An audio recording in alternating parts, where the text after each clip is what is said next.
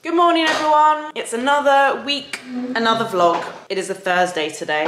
Just snacking on some roasted corn. I actually bought these to take with me tonight to pottery because I've realised a three hour class, I need snacks. But I'm just like digging in now. It's lunchtime. I was thinking, what do I have in the cupboard? We've got quite a bit of tuna. So I think I'm gonna make tuna wraps. Let's do this. Okay, I'm gonna do this in quarters. So on this first quarter, I'm gonna put tuna mayo with sriracha. Then I'm gonna put some tomatoes. Then I'm gonna put some avocado, like seasoned avocado. It's like a little bit brown, but it's fine. And then on this final bit, I'm just gonna grate some cheese because I'm gonna do a tuna melt.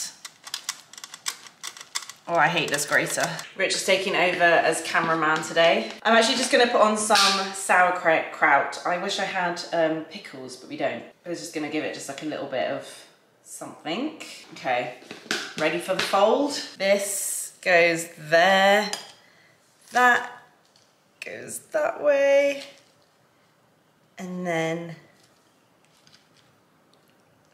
that should be good. I'm gonna give it a little quick toast in our little toasty. Oof. You should give it a little spray, right? Yeah. Quick spritz. I mean, I would say that it's a little bit saucy. it's like spilled out everywhere, but I think it's gonna taste good. This actually looks so good. Hmm, that is nice. So you guys may have seen last week, I talked about it on Instagram, that Rich and I went on Giovanna Fletcher's podcast. Happy mum, happy baby, but it's like the parenting SOS version. It was a very daunting thing for both of us to do. It was very like brave and vulnerable of Rich to go on such a big platform as like a non-public facing person to talk about taking paternity leave and about health anxiety. So it's kind of those are the two main topics in the podcast. Um, Rich took paternity leave with Rudy and had an amazing insight into what it's like for women, mothers who take uh, maternity leave. It's just crazy how much stuff he didn't realize about how people feel during that time and he's had an amazing insight so that's kind of one part of the chat and the other part of the chat is talking about health anxiety which is something he developed after about nine months and i think all kind of triggered from having kids and that feeling of responsibility to stay healthy to stay alive for them and we talk about health anxiety which i think is something that many people talk about and it's quite hard to diagnose. So Rich was very brave for doing that. I felt quite nervous just because I think the more you open up to the internet and share about things like that, there's just more for people to judge. And I think over the past year, I've been more private online than I have in the past since before i have had kids. But I do think sometimes it's really good to be vulnerable. And yes, some people might use that as ammo, but most people will gain something from it. And I've already had some amazing messages from you guys over the week, like about paternity leave, also about the health anxiety thing. So I think it's a really good thing that we did it. Anyway, the podcast has gone live and I will link it if you want to go have a listen or you can watch it on YouTube if you prefer to watch. Rich is doing so well now. He's like a totally different person. And if those feelings creep back in, we have tools and we know what to do and we know what it is now and he knows how to handle it. But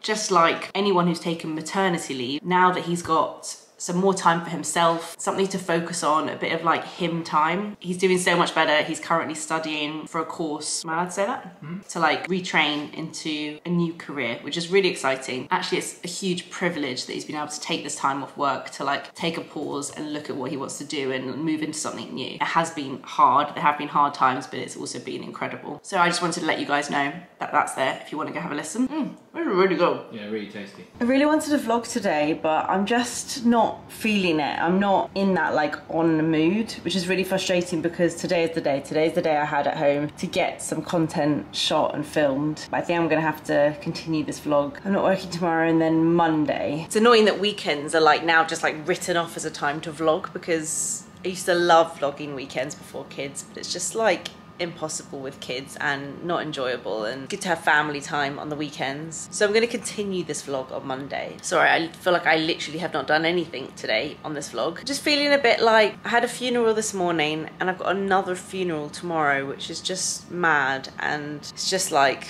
a lot really. Quite hard to like come on here and be like normal when there's so much adult adult life is just real at the moment, trying to like support everyone I know and be there for them. So I'm just gonna like take it easy. I'm gonna do some work that doesn't require me to be on camera and I'm gonna continue this vlog next week. Good morning everyone, I'm back. It's Monday. Sorry that I ended the last clip on quite a low. It's been really like up and down and last week was a bit of a strange week, but we had a really lovely weekend. We spent Saturday in Suffolk with Rich's family. The weather was amazing all weekend. We had barbecue on Sunday. Keisha's here. She came over with her kid and it's so lovely seeing like your kids play with your friends' kids. Feeling quite refreshed. Feeling like I might have a productive day. It's already like halfway through the day, but I've done quite a lot of like admin stuff this morning. Thought I'd kind of get ready with you guys. Oh, I hope that drilling's not loud. Before I get ready though, I wanted to quickly chat to you about SPF because I'm feeling very like inspired by how the industry has changed SPF. I'm obviously a massive like advocate for sun safety. I talk about it all the time with my moles and stuff. I think a lot of people still are quite like not that clued up on how important it is to use SPF. Yes, there's like the sun safety element, which is the most important part, but also I guess just like protecting your skin, like fine lines, wrinkles, like making your skin last and look great the older you get. Wearing SPF is a huge part of that. I had a conversation with my brother-in-law who's constantly got his like forehead he's always getting like a tan on his forehead and I'm always saying you must wear SPF and I still feel like especially maybe like with men there's a bit of a pushback there. But just making it like part of your morning routine part of your like moisturizer routine it's so important. In the summer when it's like sunny every day it's so important to be wearing SPF every day. But anyway you guys probably all know that and I feel like we already had like the big shift from traditional like sun cream which feels a bit weird to put sun cream on when you're like in the UK and you're not on holiday there was already like a shift and brands started bringing out like nicer, lighter textures. So you've got ones like Beauty Pie, which is a SPF I love. This one from La Roche-Posay is the Aqua Gel, so it's much more of like a lighter gel moisturizer. What else is there that's like under the more traditional bracket? The Skin and Me SPF is just kind of like a moisturizer SPF. Maybe I would put these, I don't know, I feel like there's this new bracket of like trendy SPFs. It's a trend I am all for because I think if there's a way of making something quite boring and laborious, is that the word? Like putting on SPF, if you can make that trendy and cool and make like younger people want to do it i think that's only like a good thing. And i think there's so many new brands now bringing out really cool new types of spf that i would quickly show you some of the ones that i've got. I'm sure you've heard of uh, ultraviolet. Ultraviolet I would I would have said ultraviolet, but now looking at the spelling, is it ultraviolet? No, it must be ultraviolet. You know when you haven't said a brand out loud before? I like love this brand, but I don't think I've ever heard anyone say the name out loud. I'm gonna go for ultraviolet. This is a very cool, like female owned brand, and they do a huge range of SPFs. Their most recent one, which is a mist, which I would only use as a top up, has like gone viral on TikTok. And I just think that's so cool. Like people were queuing up at Space NK to buy an SPF. Like, yes, love that. Their SPFs are really, really lovely. This one I use like all the time. It's the Supreme Screen Hydrating Facial Sunscreen. And it's just like a, a gorgeous, like slightly glowy, just blends in beautifully, feels great on the skin. Um, I also literally this morning, that's what triggered this chat, um, got sent this one from them, which is the Fave Fluid Ultra Light um, SPF. So this is a, a very, yeah, I haven't tried it yet, but I'm assuming it's very lightweight, fluid SPF. It's very important to make sure you're using the right amount. Um, a lot of people say use two fingers worth, so put your SPF down two fingers. But I can kind of tell, like, just make sure you're really covering your skin and also going down onto your neck. Don't just your face, because then your neck's gonna get all like wrinkly and you know, it will look different to your face. Branding's very cool and there's so many different textures to choose from, which is amazing. Another one I love is from Summer Fridays. Again, a very like school, cool skincare brand uh, owned by like two content creators um, these are the shade drops. Trendy name, cool packaging. Like, I just think it's a really good idea that like SPF is becoming cool. Another brand to look at is Supergoop. They have so many different options. So they've got this one, which is the unseen sunscreen, which is like a clear, clear, it's a clear texture. It's a bit more like silicone This is just their, their normal lotion. But this one's really interesting. And this is like a massive trend that I'm seeing loads of brands do now. It's a glow screen. And I've also got one similar from a brand called Sunbum. And these are glowy SPFs. And this I think is genius because it will get people who are into makeup into wearing SPF because it literally gives you a glow. So let me show you what it looks like. I'm gonna put a little bit on my hand. Can you see? It's literally like a glowy primer. And I think that is so, so clever because it it gives you another reason to wear SPF. If you are like my brother-in-law and you're a bit like, eh, I don't care about wearing SPF. Okay, he's not gonna wear this, but let's say you care about how your makeup looks, but you don't care so much about SPF, it's gonna get people using SPF because they're gonna buy it for the glow, for the gorgeous glowy base. So that one I've tried on my skin and I really like. I haven't tried the Sunbum one. It's probably the same to be fair. I think a lot of these things are like made in the same places. That looks very similar. Neither of them look like kind of Tin Man esque glow. It's not too much. Just gives you a lovely glowy base. I've also got one from Biore, which is just quite similar to the La Roche-Posay, like a gel formula. And then the one I literally just got sent, I just got sent this um, PR package from Nudestix and in there is this, which I thought was quite interesting, the Nude Screen Daily Mineral Veil. So this is a, a, mix of, it says it basically replaces your moisturizer, your primer and your SPF, which uh, I guess a lot of these SPFs do. They just don't say that they do that. It comes out as like a white moisturizer and it feels like a slightly kind of thicker moisturizer. I guess it could replace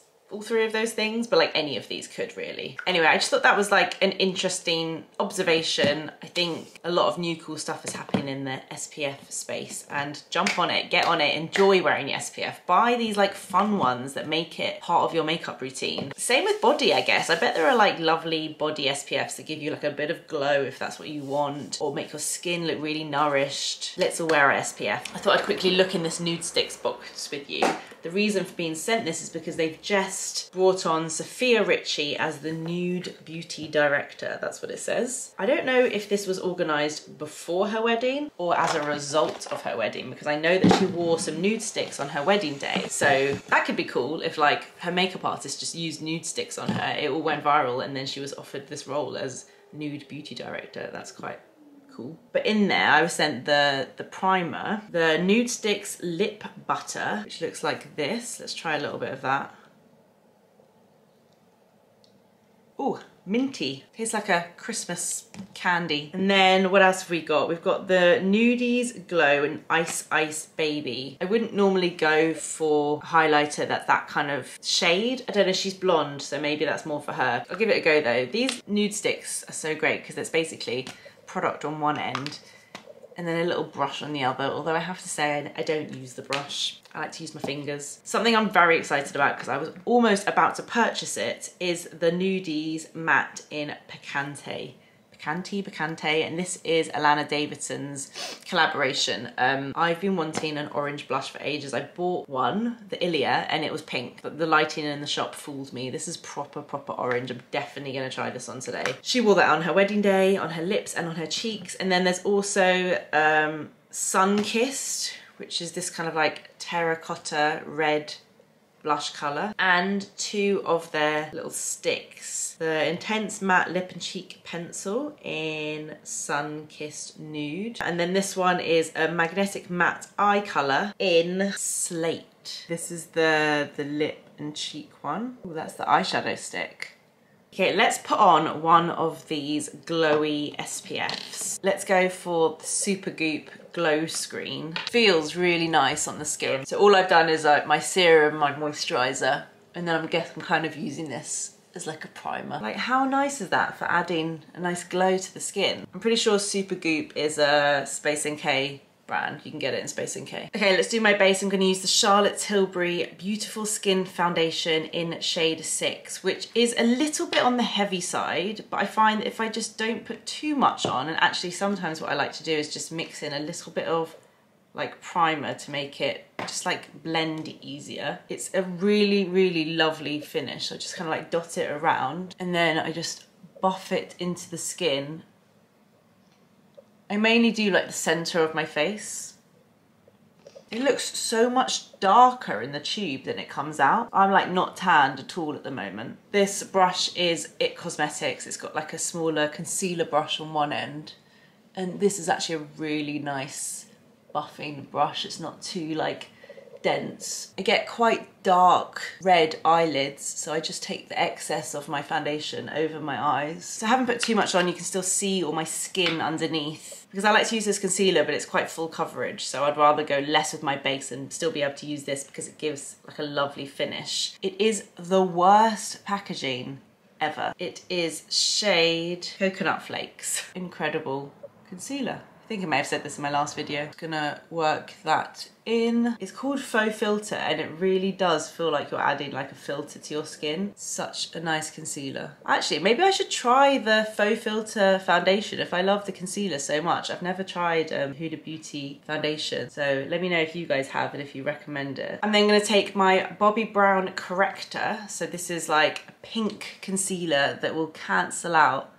my very dark blue under eye circles. I just feel like I'm going to forever constantly have dark circles because I kind of did already before kids. I was always a bit prone to a dark circle and now I've got kids. It's just like permanent part of my face. I really want to finish up this bronzer from Rose Inc um, in Parrot Cay. I've got like hardly any left but I just don't want to like, feel like I really need to like get into these edges there's still a little bit left. It's a lovely cream bronzer. I would definitely repurchase this. I don't know if I will because I've got like my Beauty Pie one on the go, which is really nice, but I would definitely go back to this. It's very like, um, whereas the Beauty Pie one is quite a wet cream bronzer, this feels a little bit more of like a softer formula. This one's definitely like easier to blend. You have to be a bit more um, gentle with the Beauty Pie one and like take it off on the back of your hand first. I really want to fake tan again, but um, I'm actually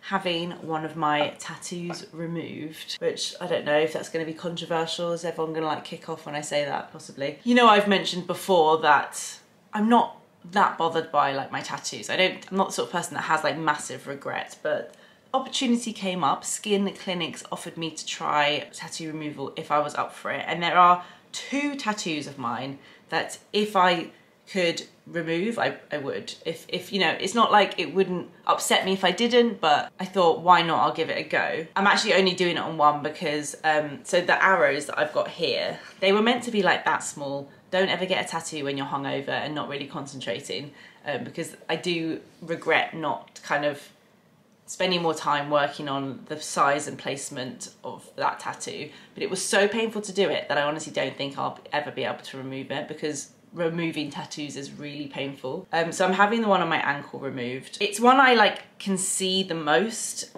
Like I, even this tattoo, which is like just stars that I had done when I was at uni, like that one doesn't even annoy me or upset me. Um, I still love this one. I still love this one. I've got one on my back that I don't love, but I don't really ever see it. No one ever sees it. Whereas the one on my ankle, I see all the time and it just doesn't feel very me anymore. I still have great memories from it. I got it done when I was traveling with my ex-boyfriend and like, we're all good, me and him, so there's nothing, there's no like reason, it's just, I feel like it just doesn't suit me anymore. So I am getting that removed and I had my test patch last week and oh my goodness, it is so painful. So tomorrow I've got my first session where I like fully get it removed. I need to go and buy some like numbing cream, which you could put on like an hour before and it helps to like numb the area. But yeah, it's just a bit of a faff because you have to like, it's like a wound and you have to look after it afterwards and you can't have any fake tan on your skin when you get it done and it's a bit annoying having it done over summer I guess because I really want to be like fake tanning and stuff and you, you have to be careful like when it goes in the sun. So yeah, I just thought I'd start the process because I think it's gonna take quite a long time to do the whole thing. It's quite like a black tattoo, but we'll see how I go. I'm literally just gonna use my, I don't know if this is gross. Is it gross? Sometimes I just use my eyeshadow brush and like whatever's left on it just to kind of like almost acts as a setting powder over any cream products that have gone on my lid and also just gives like a little bit of colour without actually doing proper eyeshadow. Mascara wise, I'm loving the Hourglass Caution Mascara. I think a lot of you guys recommended this one and it is a really nice mascara. I'm actually just gonna gently apply it because if I really go for it then it, it can be quite a lot for like a daytime look. I'm just gonna put one light layer. Now let's try this Canty blush think I'm going to, instead of applying it like straight on, because that would just be too much, I'm going to just, first of all, test it on my hand. And I'm gonna just use the brush, kind of work it into the bristles. Yes, that is nice. Whoa, that looks crazy on camera. It doesn't look that bright in real life. It's not blending like as easy as I wanted it to. Just gonna blend out the edges. I love the formula of the Merit blushes. I think they are the easiest to apply. I wonder if they do like an orangey one because I would absolutely love to try that if they do. I'm gonna have a look because I really, really like the, the formula. Also, some people take it onto the lips as well, especially if you've got that lip balm there. It kind of grips to it. Mm, I'm not sure if it's showing really bright on camera, but in real life, it's quite subtle. Okay, that little chat about SPF has totally inspired me to make a reel. This is what I'm like with content. I'm so bad at planning. I'm much more of a spontaneous like, oh, I've got an idea. I'm gonna shoot it and edit it right now.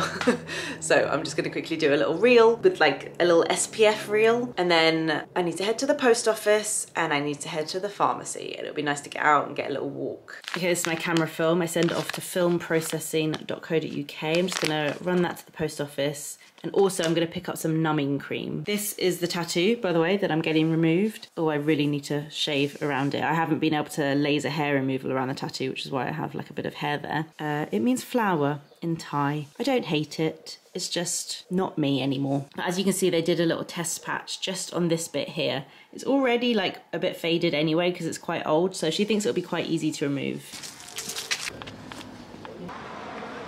We've got this left over from our barbecue, so I'm just gonna add this as a quick snack.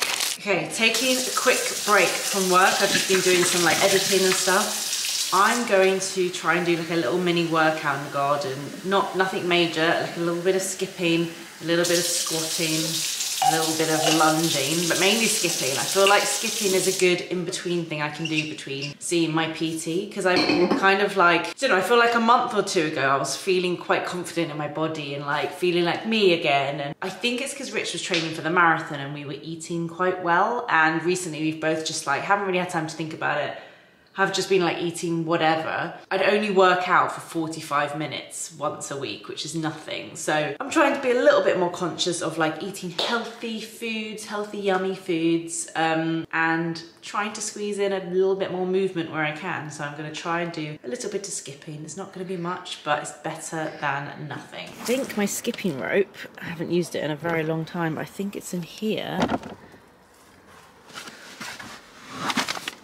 Hope it's in here. I had to search the whole house, but I found the skipping rope.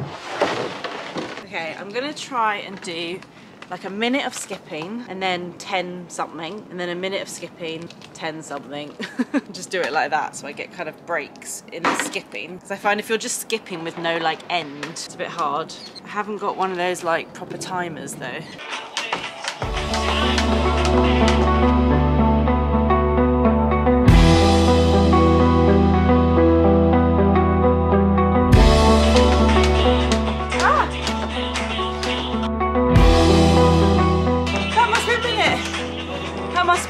god, it's not been a minute.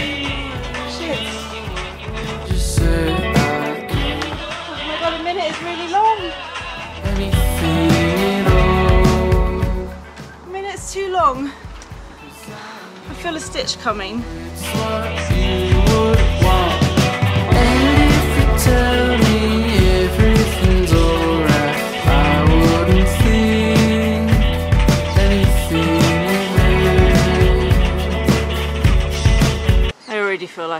This idea. I feel like I'm either gonna wet myself, my tampon's just gonna fall out, I'm gonna get a stitch, or I'm gonna pass out slash be sick.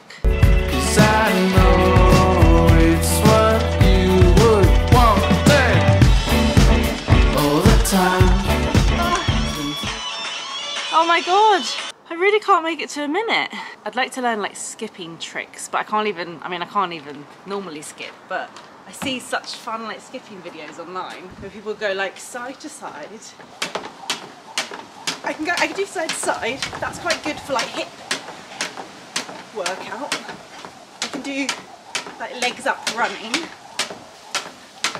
Oh my god, I can do, did you see that? I did one leg. Wait. Yes! That's hard. What else, what else does one do when they're skipping? Okay, there's one where you like go like that.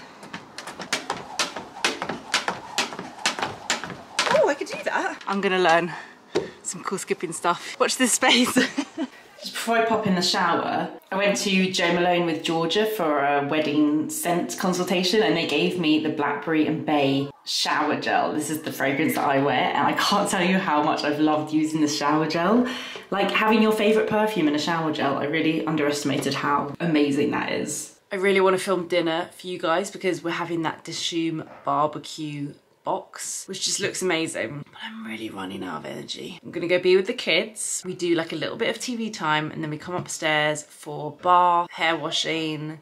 They kind of play a bit, stories, and then bedtime. And that whole period from like 6 till 7.30 is quite draining so me and Rich are like getting ready and then I'm gonna come back to you guys and I will try my best to be not too lethargic. Oh my goodness I must look state because bedtime was so funny and so cute. Because we took Gray to see Matilda the musical last week, she's obsessed with like singing and dancing. It's so funny, like I wasn't sure if that would pass down onto my kids because I was very much like that, but Rich totally is not like a singing, dancing, do a show type kid.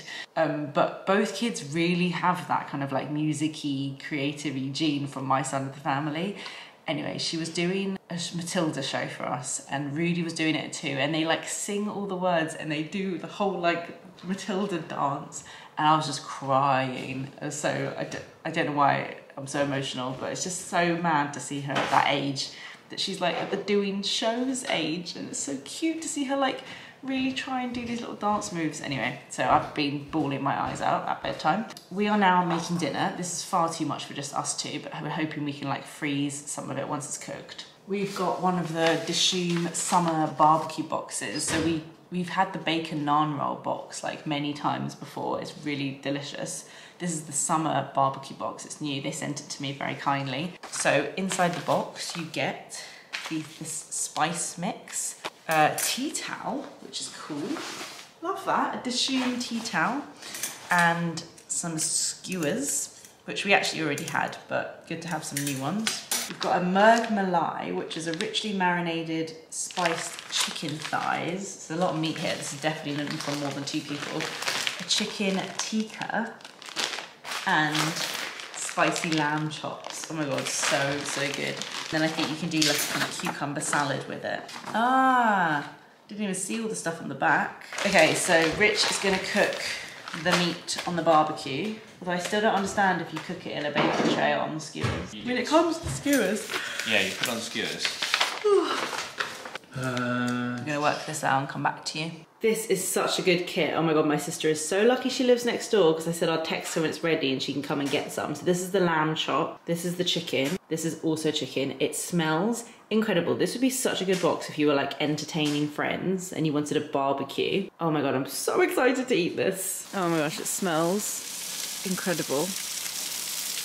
Oh, there's lamb chops. Mm. Maybe I'll do a little bit of rice. Yeah. Yeah, it'll be nice with the chicken. Got Meat it. is done. It smells good. Ben's come over for leftovers. Leftovers? I mean, Rich just tried the lamb and like had a meltdown. Oh my god, Rich, you're gonna like drop it on the floor. um, mega, mega spicy. Yeah, but like. You're quite sensitive. tasty, spicy. You're quite sensitive to spice. Mm. Like you tend to think things are spicy when they're not. This is so exciting. Wait, can we just like Okay, I've done like a little salad of cucumber, tomato, red onion, and a little bit of rice. And then I'm just gonna go for it. Right, let me just try, let me try a little bit. Mmm, oh my god, that chicken. That is so good. Right, we're gonna enjoy our dinner. Guys, this is really good. It's 50 quid, Rich said, for a box. I think it serves way more. It says it serves four people. I think it would serve much more than that. So it's really good if you're having. easily. Yeah, if you're having a barbecue. It's all like pre-marinated. Oh, such a good, such a good box. Okay, we're gonna eat our dinner, chill out, watch some TV. I'll see you guys in my next video. Bye.